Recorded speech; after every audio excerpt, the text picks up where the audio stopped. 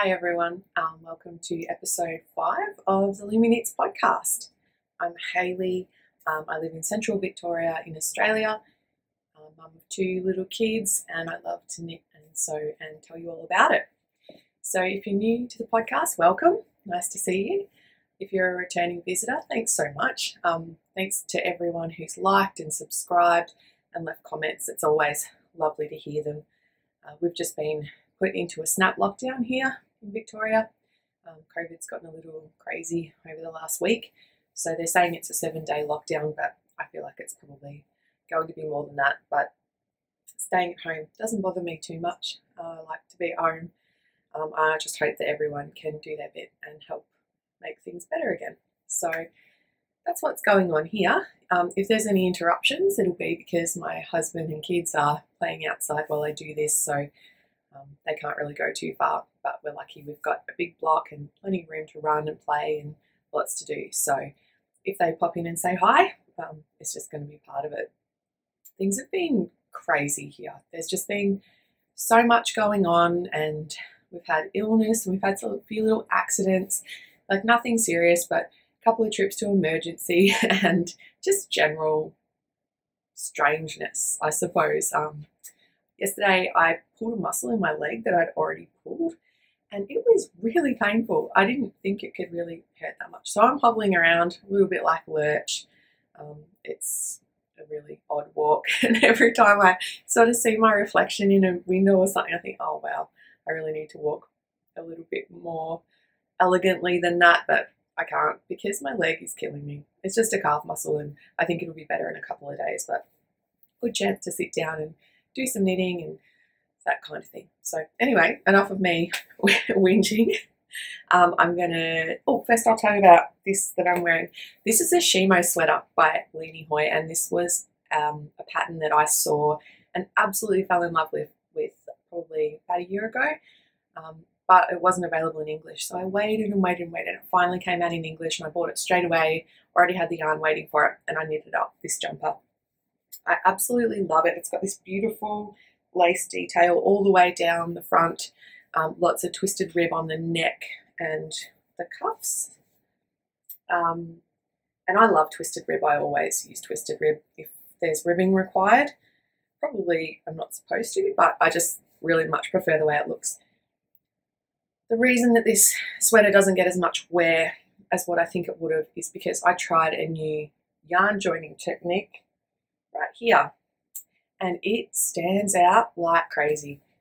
I didn't realize at the time, otherwise I would have ripped it back and redone it. But it wasn't until I finished the sweater that I really saw it and went, oh, yeah, okay. Um, so it's just this patch here. And I think what I did was I doubled up. So I doubled the yarn and sort of knitted it along with the neck slot. And it just, it makes it really visible. And so that was quite disappointing because I don't want to wear a brooch or something with this. I'm really, really proud of it.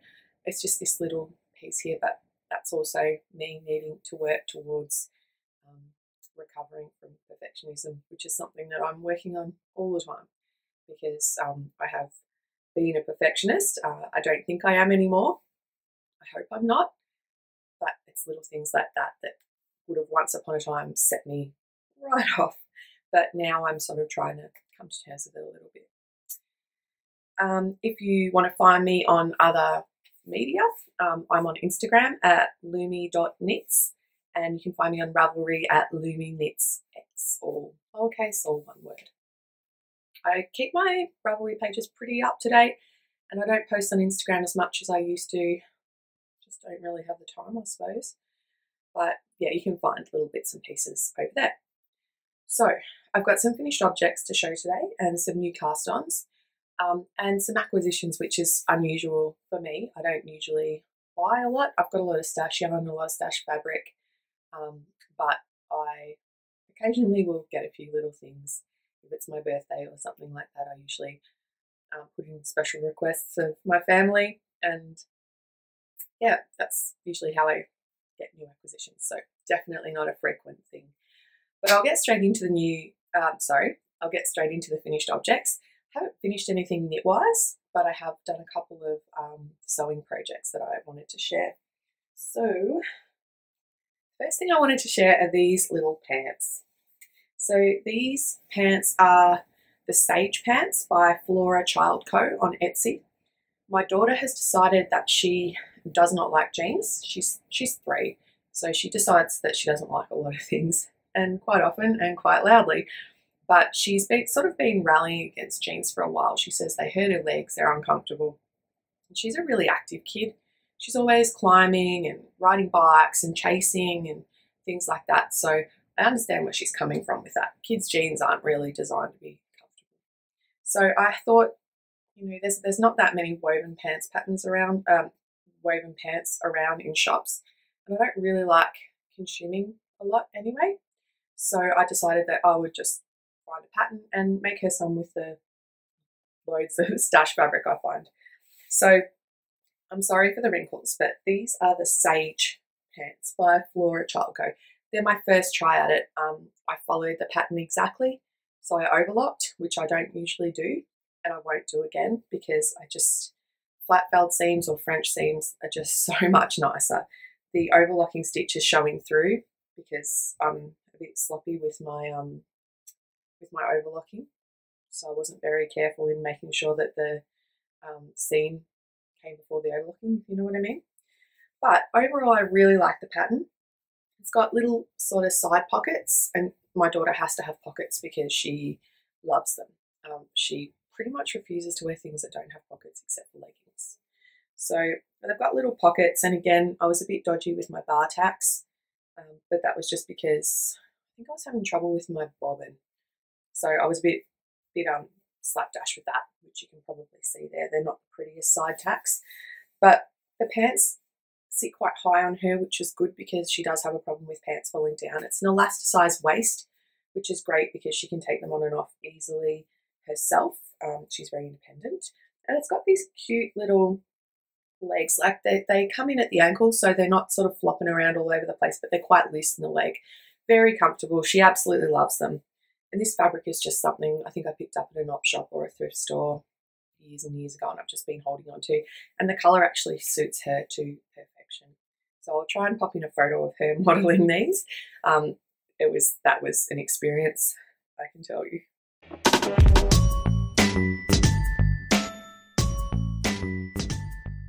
Anyway, Sage Pants by Flora Child Co. on Etsy.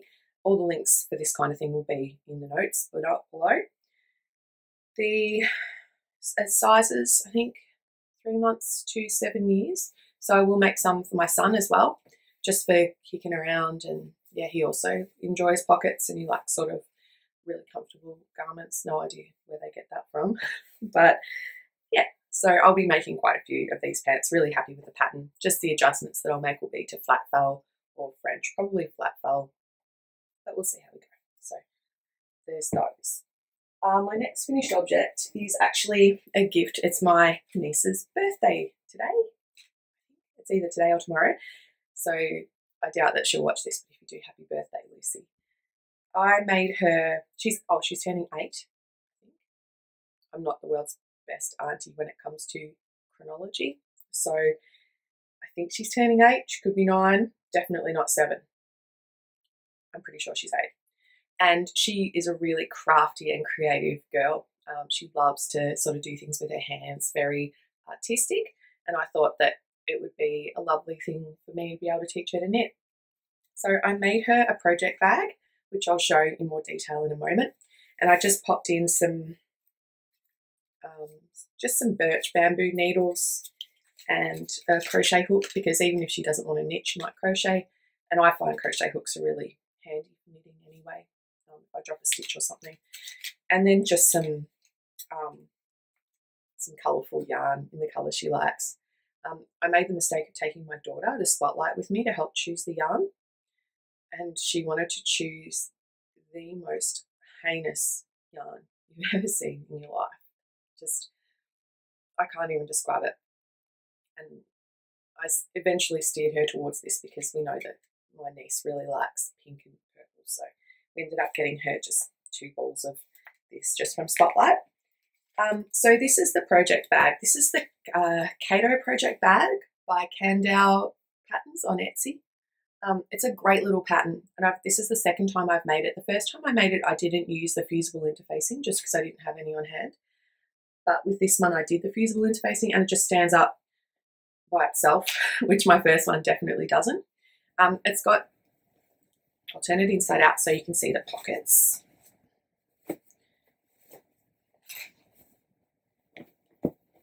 It's fully lined and it's got these two pockets just for, you know, popping bits and pieces in um, and just a drawstring closure. It does have the option for a strap, but I find the strap on mine is quite redundant. I really don't need it. So I thought for my niece that probably um, she wouldn't need it either, especially because she's just beginning. But I think she'll probably, um, I'll give her a hand to cast on and um, just learn the knit stitches once we come out of lockdown and just make a simple little stockinette scarf. And I think she'll really um, enjoy that. And if she doesn't, she's got a little bag that she can keep things in anyway, and some knitting needles and a crochet hook for when the time comes that she wants to learn to do that. So that is, they are my two finished objects for this podcast. Um, I don't think there's anything more I really need to say about those. Um, my new cast ons. Ah, yes. My new cast on. Last podcast, I showed some free patterns on um, Etsy. No, free patterns on Ravelry, sorry, that I thought were really cute and that I'd like to get to one day.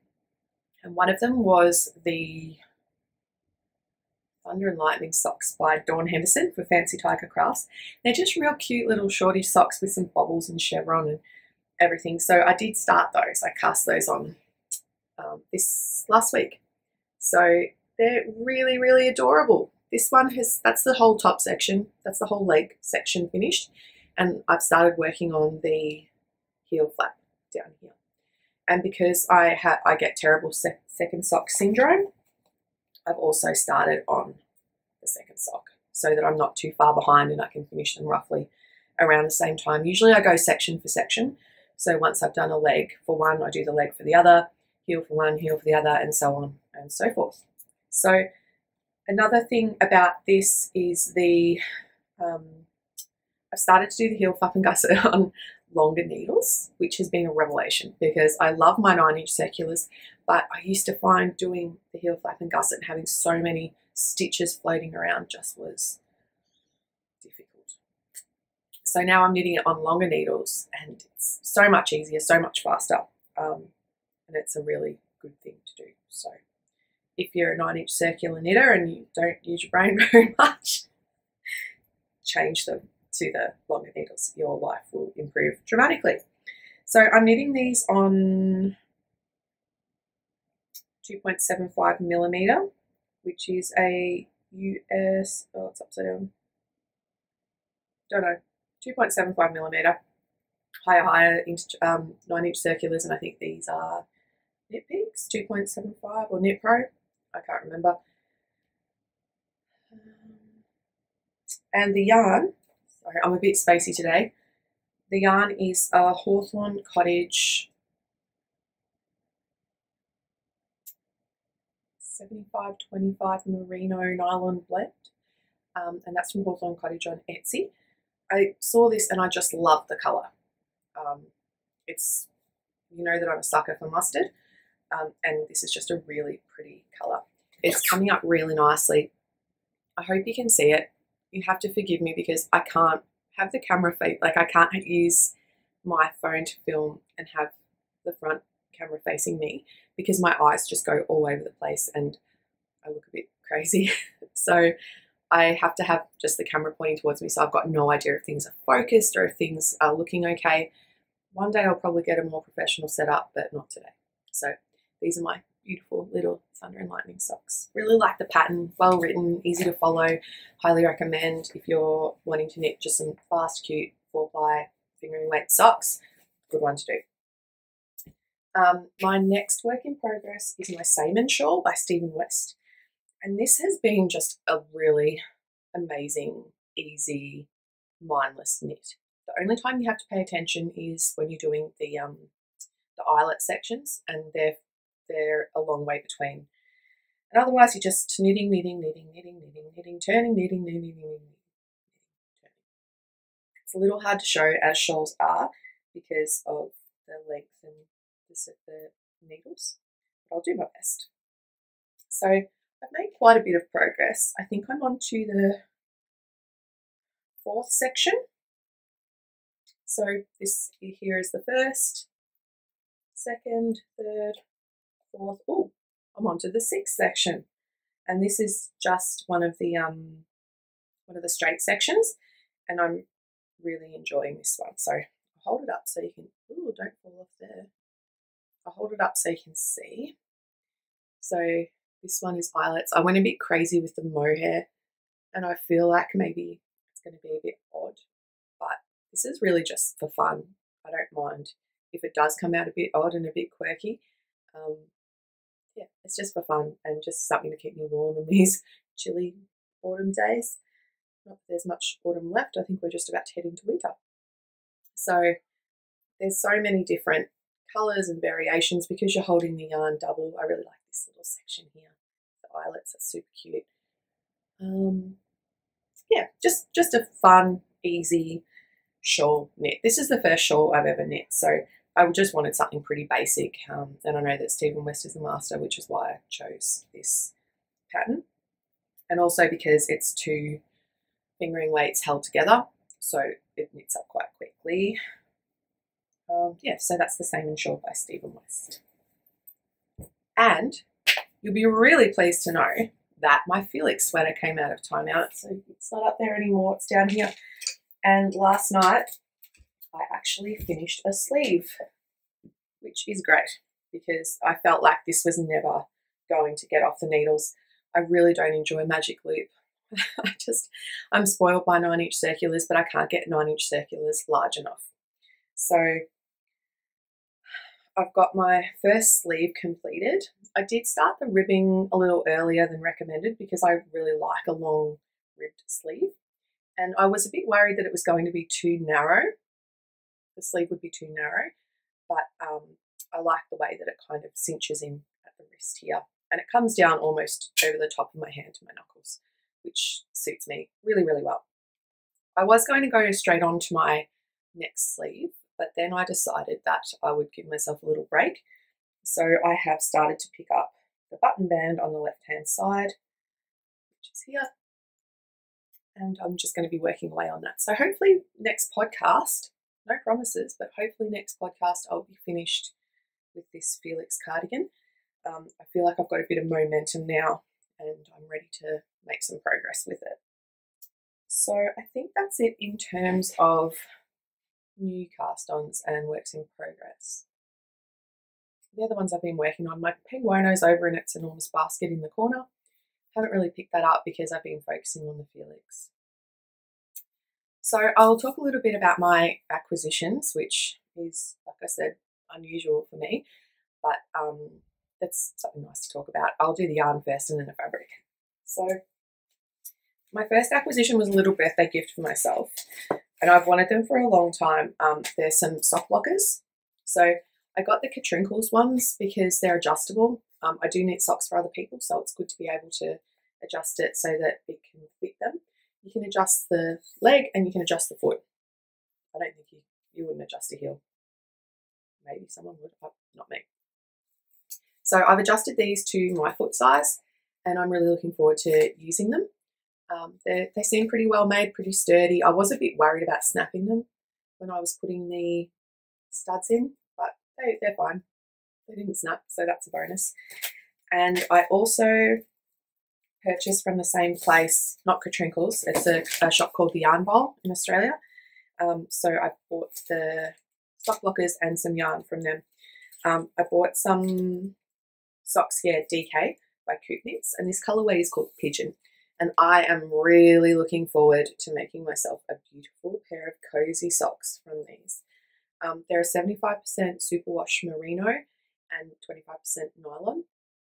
The colorway is pigeon and it's this really, I'm not a purple person, but it's this really beautiful purple and it's got kind of like grey and brighter purples in there. You probably won't be able to see it.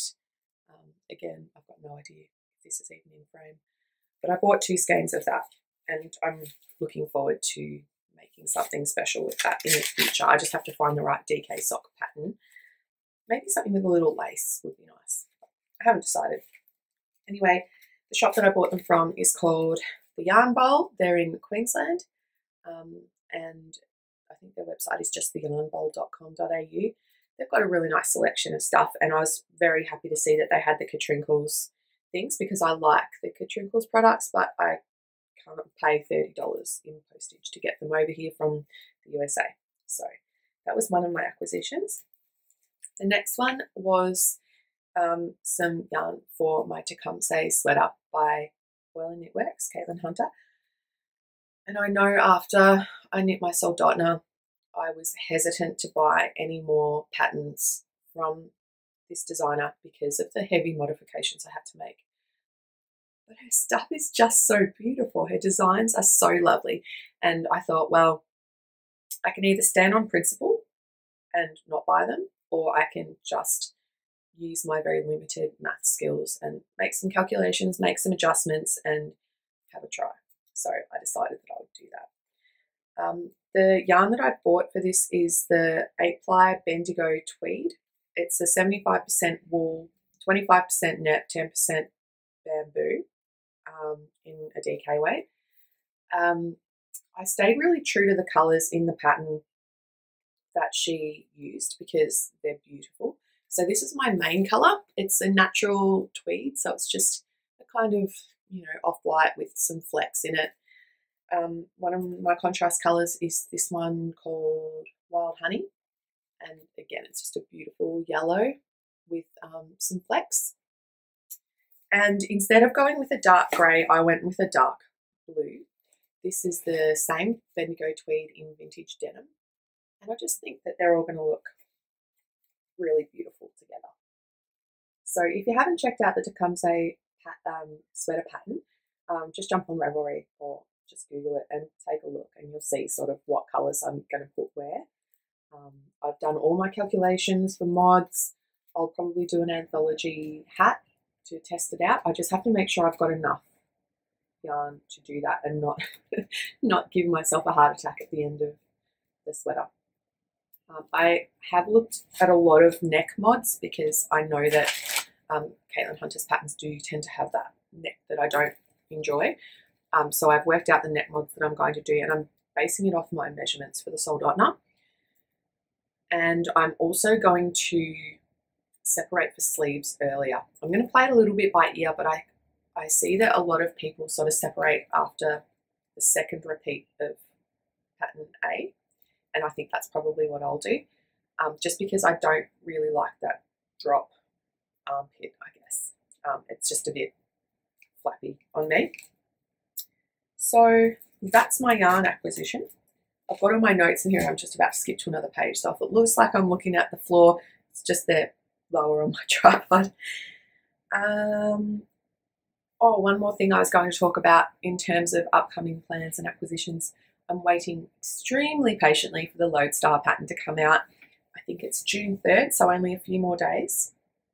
I can't wait to buy the pattern, and I'm tossing up whether or not I'm going to buy the digital issue of the Pom Pom magazine um, this quarter. I bought it as a hard copy last quarter. I was a little bit underwhelmed. Um, it just, it was a lot of money for not a lot of magazine, I felt. Um, so I think I will probably just stick with the digital patterns. I'll go through and have a really good look and see if there's multiple that I plan on knitting and if there's not, I'll probably just buy the patterns that I want to knit individually. There is a really beautiful colour work sock on there that I'm quite interested in. So that's what I'm waiting for. Um, once I've got the pattern, I'll decide on the yarn. It'll probably be Bendigo Woollen Mills just because it's so affordable. I know it washes well. Um, I'm really comfortable using it and it's local to me. So um, I like to support local businesses where I can. And that's the Lodestar. Um, I wanted to show some fabric that I bought, and this is again birthday a birthday acquisition. I know I said I was going to make a million pairs of the Otis overalls, but I'm still on one, um, and I really want more. So I've went I went to Spotlight, which is just my local big box fabric store, and got some denim. Just a really light, soft denim. It's not thick. Um, and I thought that will make a really nice basic pair of overalls. I will modify it quite heavily in that I won't do the back pocket, front pocket.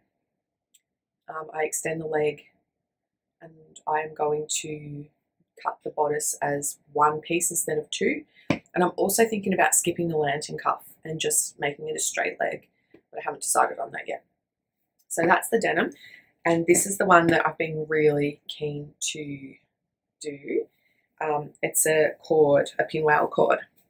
Again, mustard, with just this cute little floral pattern over it. And I really need to get my skates on if I want to wear this over winter because it's a bit bit heavier than my existing one.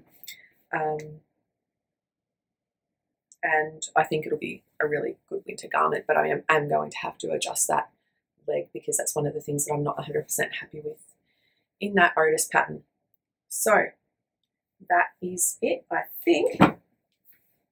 I also bought just some camo fabric for my son to make him a pair of those sage pants. Um, I don't think I've really got anything else to talk about. Hope I didn't go too fast today. I'm feeling a bit of time pressure because I know any minute there's going to be two hungry, curly haired, crazy kids screaming in through the back door. Uh, if you've got any questions for me or any comments, um, please go ahead, pop them down below. I answer, think I answer pretty much every one. And if I haven't, it's just because I've accidentally overlooked it. I love being able to have these conversations with you all. Um, I enjoy the tips. Someone gave me a tip for an alternative to Kitchener, and I'm really looking forward to trying that out. I think probably with my Thunder and Lightning socks. So I'll give that a go. Um, yeah, but thanks ev- again, everyone who comments, likes, subscribes. I really appreciate it. Um, it's really humbling to see that people actually watch this because I do tend to waffle on a little bit. And thank you. I hope wherever you are, you're not in the in a bad situation when it comes to COVID. Things here aren't as terrible as what they sound. Um, I don't think, but I do feel like it's going to get worse. I think we got a little bit complacent and forgot that it is something that evolves and changes and spreads rapidly. So we're in a seven day lockdown. I think it will probably end up getting extended, but I'm not a health expert, so who knows. But wherever you are, if you're in lockdown, I hope that you've got plenty of things to keep you occupied and plenty of people you can video chat with. Um, I always find that it's a really nice time just to you know, be with my family and spend time with them and get back to basics there. It also gives us time to do activities that we don't usually get to do. So I guess what I'm saying is if you are in lockdown, I feel you, I hear you, and I hope that you can find a way through it. If you're not, congratulations and go out and enjoy your day. So have a wonderful day, wonderful week. I don't know how long it'll be before I podcast again. Hopefully not too long because I really enjoy it. But I'm going to stop talking. So thanks so much for watching and I'll see you next time.